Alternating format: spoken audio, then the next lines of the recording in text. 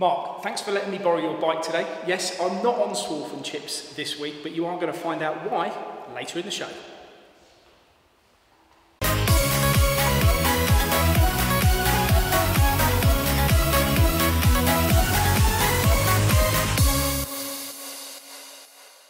Nice bike, Paul. Uh, welcome to Swarf and Chips. Mark, do you think Paul's going to be, uh, you know, checking his hair out in there? Because it's a nice mirrored finish, isn't it? That More bike? to the point, Lyndsey, have you seen the suspension settings on that? It seems a little bit low. I wouldn't want to use it after the sitting on it. They're so mean to each other. Um, I'd like to welcome on the set today, lovely gentleman who's the um, head of UK manufacturing for Lloyds Bank. It's David Atkinson. Welcome to the show, David. Thanks, Lyndsey. Morning. Um, now, uh, just before we start, um, Lloyds Bank, massive company.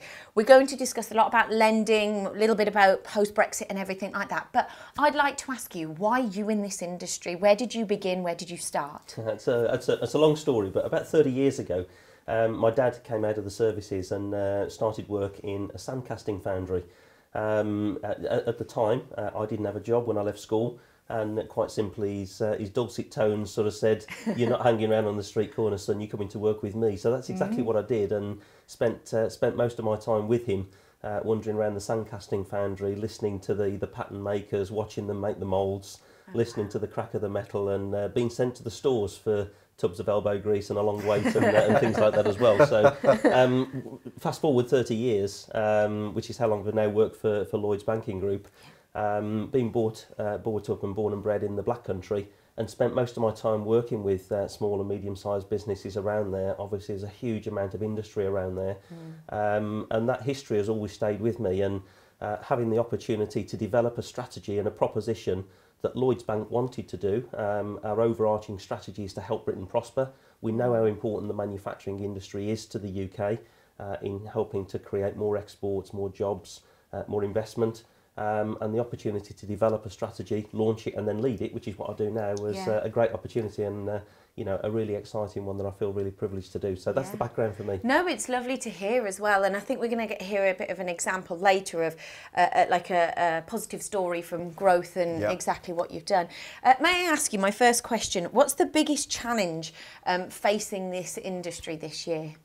So I think from an industry perspective, um, if you look at all of the reports that come out about how the industry's feeling and what the economic indicators are saying, it's been quite volatile this year. Yeah. Uh, and, I, and I guess understandably so. You know, we're facing to a lot of uncertainty following the decision um, to uh, to leave the uh, to the leave the EU.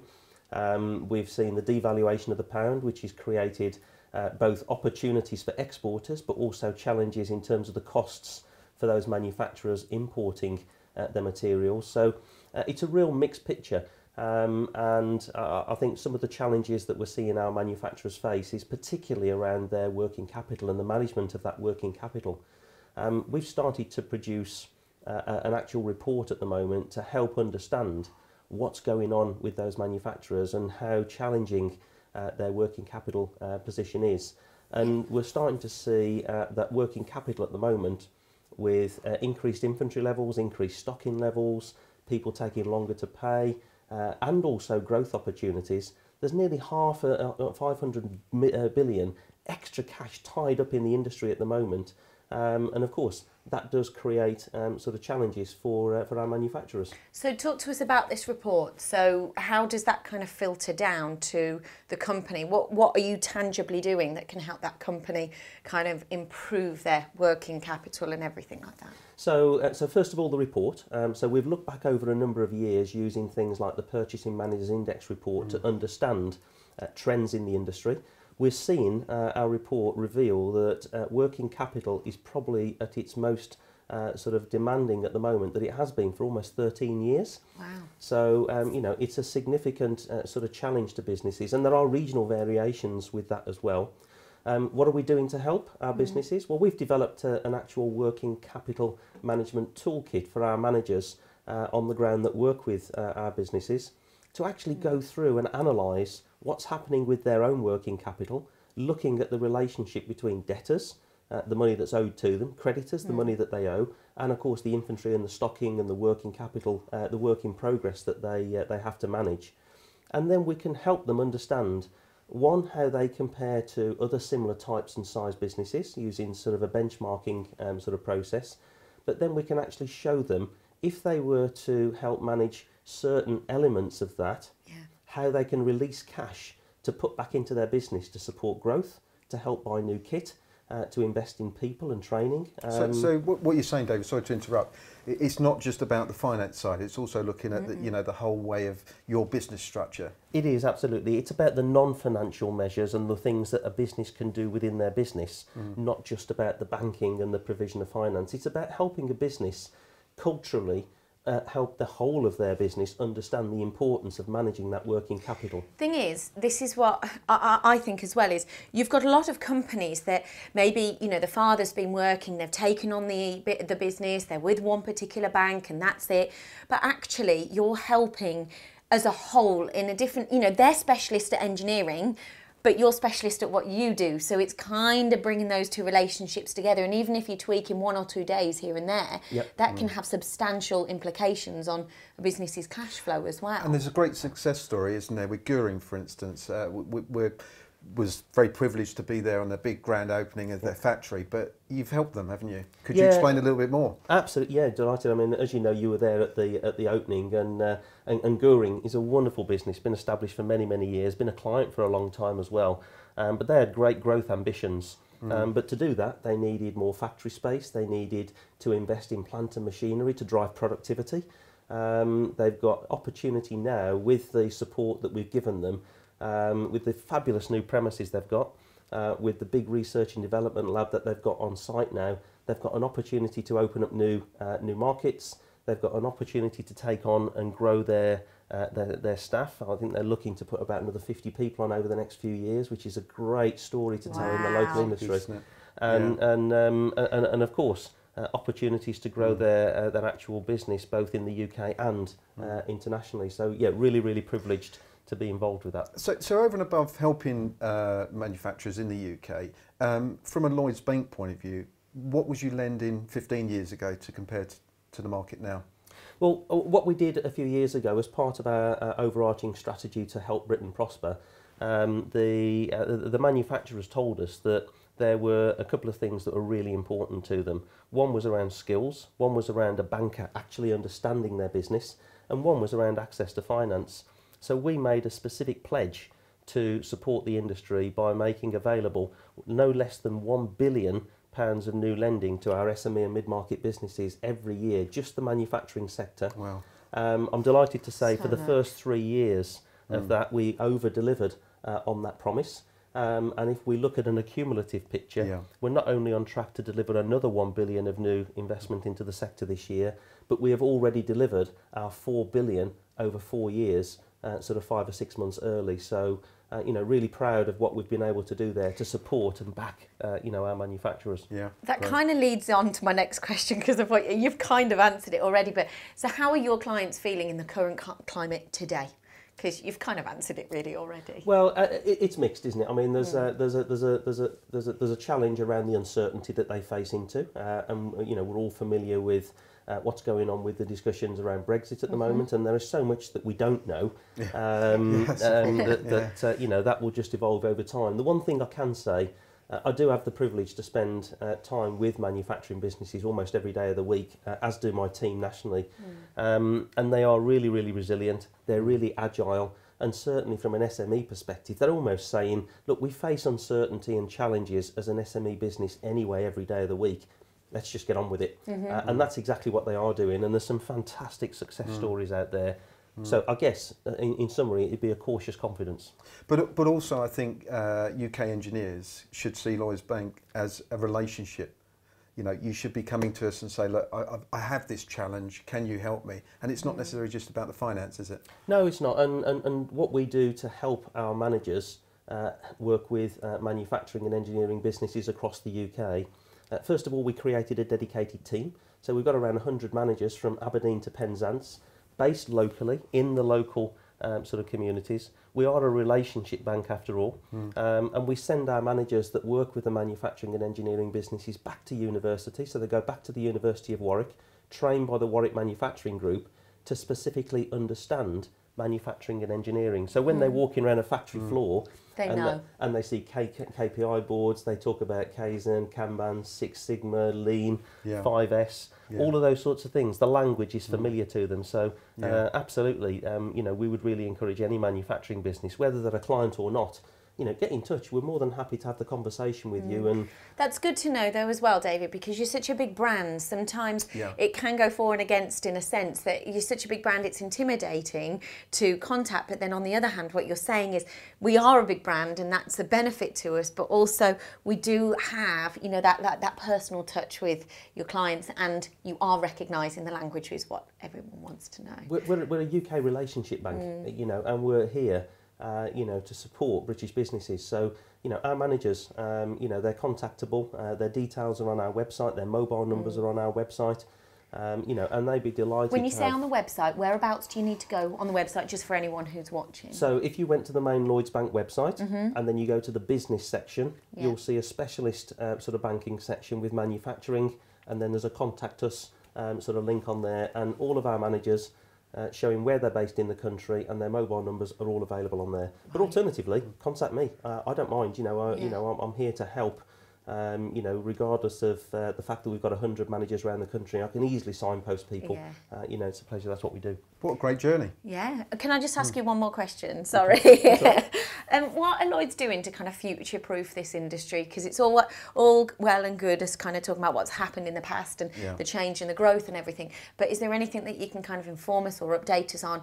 You know, future-proofing this industry from your perspective. Yeah, you, you'll, you'll have heard the buzzword around um, sort of Industry 4.0, and really interestingly, our research last year showed that around three quarters of all manufacturers that responded said, We've heard of it, but we don't really know what it means to us. Okay. Um, so we've been working with um, a, a number of organisations around the country to help British manufacturers understand the future of manufacturing, understanding the changing landscape in the way which we design, make and sell things, using digital technology, using investment to drive automation and robotics, Yeah. uh, supporting them with uh, consideration around how do they sell their service as a, product, a product as a service. Yeah. Servitization is another sort of buzzword. So lots of uh, lots of sort of support to help signpost businesses to further help to think about how they can develop their business, how they can invest to drive productivity, to take advantage of new opportunities, and of course, uh, expansion overseas, as we've seen uh, most recently, uh, is really sort of growing. And our new international trade portal will help the uh, those businesses identify new opportunities, which markets to go into, even which businesses will buy their products, and then a wealth of support to help them actually open up those opportunities into new markets. The trade portal is that something that someone can do online directly with yourselves? What, Yeah, they can. We can Yeah. either, we, again, our managers will be quite happy to walk through that and do a demonstration with any business, whether they're a client or not. But you can go online um, and uh, the, uh, the International Trade Portal, it's completely free for our clients. Uh, and for non-clients, you can still get access to it for 30 days completely free of charge, just to get a flavour of the kind of support and help that we offer to help businesses expand and look at new uh, markets in, uh, you know, overseas. Okay, wonderful. And, and I think with your marketing, I don't think there's any other lender that I see more in, in engineers' face, i.e., you know, you sponsor MACH to a certain de- degree, you're, you're involved with lots of big Right. projects, and you talk yourself at lots of different things, hence why you're on the show today. Oh, thank you. Yeah, we're, we're really proud of what we do, and Yeah. Mm. it's a fantastic sector to be supporting. And as I say, at the heart uh, of, of really helping Britain prosper, uh, you know, rebalancing that economy, driving exports, driving investment, and um, you know, we're just really proud of what we do, and uh, you know, would like to do more of it. And it was within you as a young lad as well. So yeah. thank you so much for joining us on the show, My David. pleasure. Here's your Swarf and Chips mug. yeah, yeah. Thank you. So you've got to have your best drink. in it. What's your favourite drink? Coffee, Coffee. but you're sorted then, aren't you? all sorted. Thank you so much for joining us. My pleasure. Thank you. Now let's go to today's cycle time challenge. Cycle Time Challenge. Guys, we've got a special this week. Normally you'll see a metal component on a new machine, how much time you saved on that. This week though, 3D printing. Look at this. Now we're with the guys from AI Build down in London. Daghan, thank you for having us along. Now normally if you 3D print this, how long would it take? Uh, this would normally take around 10 12 hours by a conventional printer. 10 to 12 hours. So the challenge to you guys back at the studio is how long did it take Daghan and the AI Build team to print? MTD on location.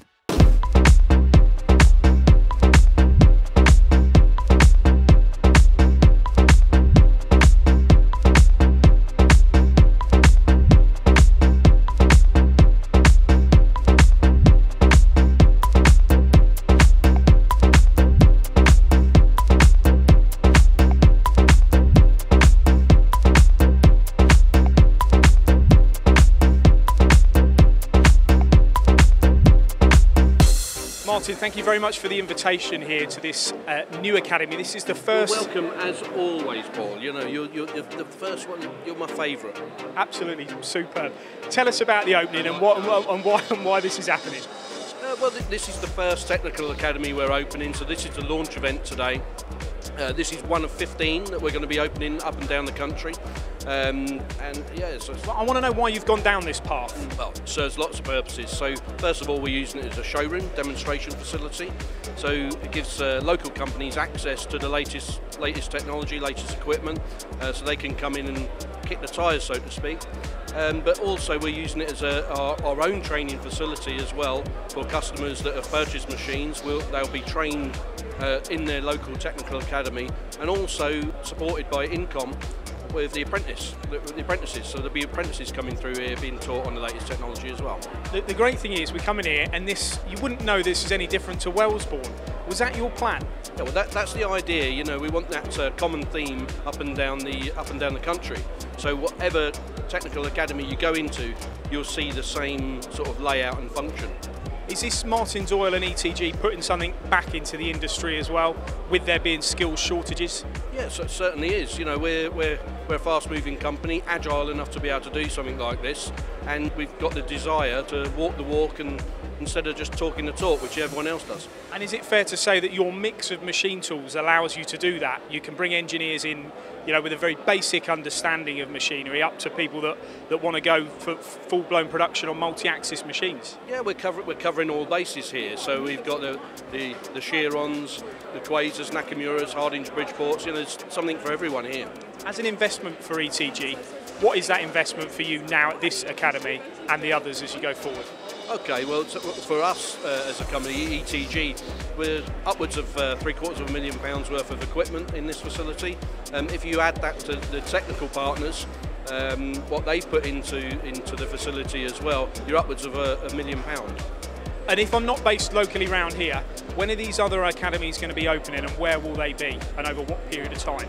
So we have Aldridge as well. There's an In-Comm's facility, so they've they've just uh, bought the building next door to their current trading facility. They want to be up and running by September. We obviously got the Marches that's had a lot of press from yourselves.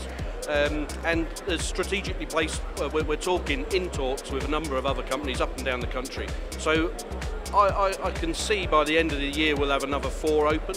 And it's not all about the machinery, is it, Martin? It's about your, your partners as well. Tell us a little bit about those and the associations and why you've opted for the ones you've got. There's a group of us, basically, we all got our heads together and said, right, okay, we want to make a real world environment. We want to make um, machining cells. So it's no good just putting in the machine and having a demo of a part that doesn't mean anything to anyone. Um, just cutting some material. We want to make a real world environment. So the, the, the likes of Houghton with their uh, supplying the fluids and lubricating oils, which is a very important part of the machining process. You've got WNT and Gühring with the with the, the tooling element of it, um, and Filtermist, of course, Blum probes, Mastercam, LNS. You know, it, it, this is basically where we're trying to make packages, trying manufacturing packages. And uh, do you ride a bike, bringing the Norton connection into it? Have you got one? Do you ride one? I can ride one, yes. I haven't got one currently, but I do hold a motorcycle license. Paul, yes. Thank you very much. So that's it from the opening of ETG's first academy in the UK.